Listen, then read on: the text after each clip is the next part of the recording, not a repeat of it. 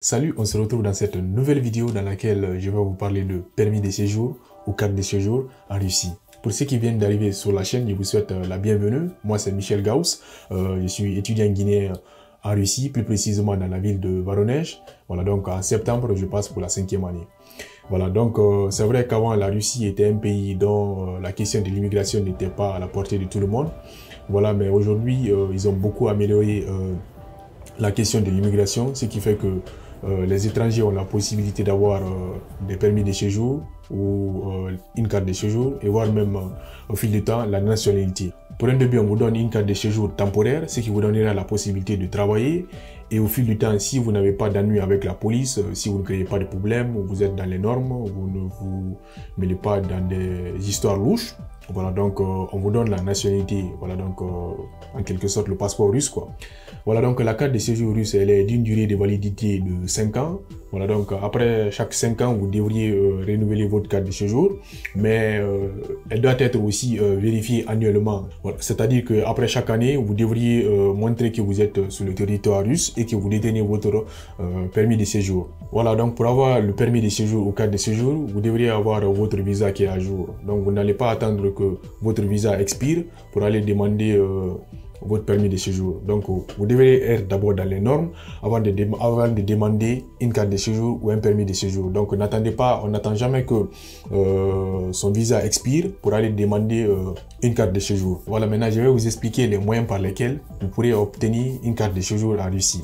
Voilà, donc le premier moyen c'est avoir une bonne qualification. En fait, en Russie, euh, il y a deux types de diplômes. Il y a le diplôme euh, bleu et le diplôme rouge. Le diplôme bleu, ça signifie que vous avez étudié avec la mention bien ou passable. Voilà, donc, euh, et le diplôme rouge, ça signifie que vous avez étudié avec la mention excellente. Mais eux, ils ont besoin euh, des personnes euh, qui ont le diplôme rouge. Donc, si vous étudiez avec la mention excellente, vous êtes éligible à avoir une carte de séjour. Avant, c'était les deux, ceux qui avaient le diplôme bleu et le diplôme rouge, ils avaient la possibilité d'avoir une carte de séjour, mais bon, je ne sais pas quand est-ce qu'ils ont changé cette loi, mais actuellement, c'est seulement ceux qui ont un diplôme rouge. Donc, euh, ça se voit qu'ils ont besoin de bonnes graines, parce que ici, le diplôme rouge, c'est vraiment, hmm, c'est quelque chose de, bon, je ne vais pas dire que c'est quelque chose de sacré, mais bon, il donne beaucoup plus d'importance aux, personnes qui ont des diplômes rouges, quoi. Voilà, donc si vous voulez avoir votre carte de séjour, vous venez, vous étudiez, euh, vous étudiez très bien. Après les études, vous pourrez maintenant demander à ce qu'on vous donne euh, votre permis de séjour.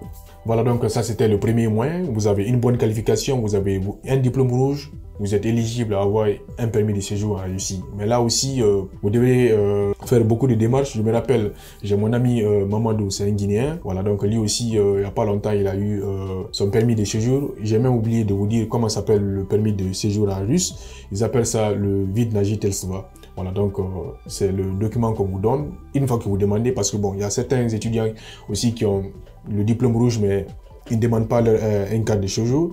Voilà, donc euh, ça dépend, tout dépend de vous. Si vous voulez avoir euh, votre permis de séjour, vous avez un diplôme rouge, vous commencez les procédures parce que là aussi, euh, ils vont vous demander beaucoup de, beaucoup de documents et ne pas vivre dans, comment dire, dans le foyer étudiant. Vous devriez avoir votre appartement à part. Voilà, donc je ne sais pas encore il y a quelle procédure à l'intérieur, mais bon, là, je crois bien ça, ça peut faire l'objet d'une autre vidéo. Voilà, donc pour cela aussi, je vous conseille d'éviter les ennuis avec la police parce que ici, ils n'ont pas, bon, au fait, il faut éviter toujours que votre nom soit, comment dirais-je, enregistré avec, dans la base de données de la police. Donc, euh, évitez les ennuis avec la police parce que même quand vous créez, quand vous créez des ennuis dans une ville, même si vous changez de ville, vous serez répertorié là-bas. Parce que je me rappelle, il y avait une fille qui avait, c'est pas, elle, avait, elle avait eu des ennuis avec la justice. Elle est sortie du pays. Maintenant, en rentrant, ils l'ont bloqué à l'aéroport. Voilà, donc euh, il que son nom était enregistré quelque part, qu'elle avait, elle avait créé des ennuis quelque part. Donc euh, vous êtes, euh, votre nom, une fois que votre nom est enregistré dans leur base de données, vous, êtes directement fiché. Donc évitez des problèmes avec la justice, parce que si vous avez des problèmes avec la justice, les chances pour vous d'avoir votre permis de séjour elle est très réduite. Donc c'est pour cela, vous évitez d'abord des problèmes avec la justice, vous avez un diplôme rouge, voilà, et comme ça, vous pouvez maintenant entamer les procédures d'obtention de votre carte de séjour ou permis de séjour. Voilà, donc ça, c'était le premier moyen pour l'obtention d'un permis de séjour en Russie. Maintenant, le second moyen, c'est d'être marié à une fille russe. Voilà, mais là, une fois que vous êtes marié avec une Furious, on vous donne pas directement votre permis de séjour. Je crois bien c'est après deux ans ou trois ans, je me rappelle plus. Mais bon, je vais prendre des informations dans les commentaires, je vais écrire ou bien je vais épingler ça dans les commentaires. Voilà, et là on vous donne pas, vous donne pas directement le permis de séjour parce que bon, il y a beaucoup de personnes aussi, bon, vous savez, certaines personnes, ils veulent se marier directement avoir le permis de séjour et par après. Euh, demander le divorce, mais là, ça se passe pas comme ça ici. Ne pensez pas que si vous, allez marier une fille russe, on va directement vous donner votre permis de séjour. Non, non, non. Ça ne se passe pas comme ça. Il est beaucoup plus facile d'avoir un permis de séjour lorsque vous avez un diplôme rouge que de vous marier à une fille russe. Vous marier avec une fille russe, ça ne vous donne pas directement euh, la possibilité d'avoir votre permis de séjour. Là aussi, vous ne devriez pas sortir du territoire russe. Vous devez rester d'abord sur le territoire russe après un certain nombre d'années. Comme ça, on vous donne votre permis de séjour.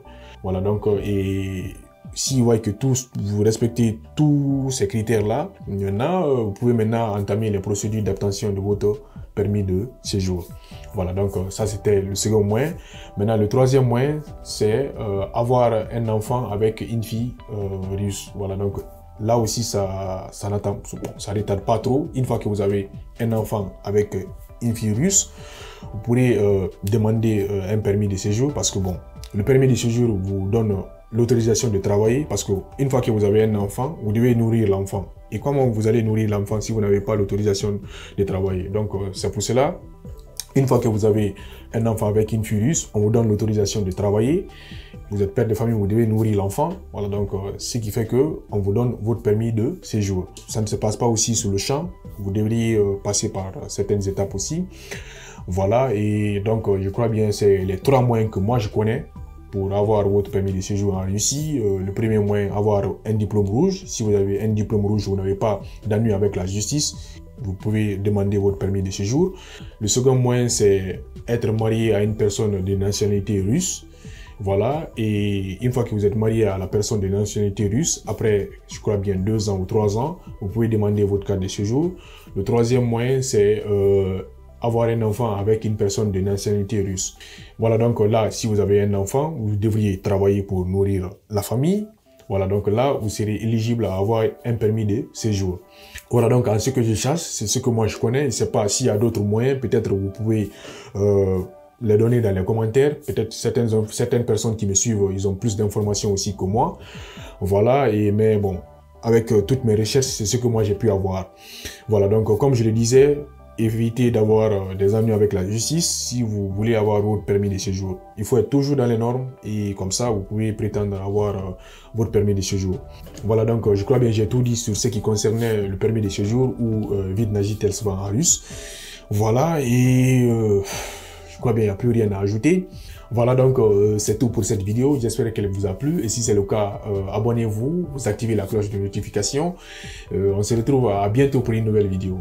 Voilà, donc je sais qu'il y a une question qui est susceptible d'être posée, la question de savoir euh, quelle sera la nationalité d'un enfant euh, s'il est né sur le territoire russe, mais et que les parents sont d'origine étrangère. C'est que papa n'est pas russe, maman aussi n'est pas russe. Donc, la réponse à cette question se trouve dans la loi fédérale numéro 62 sur la citoyenneté de la Fédération de Russie.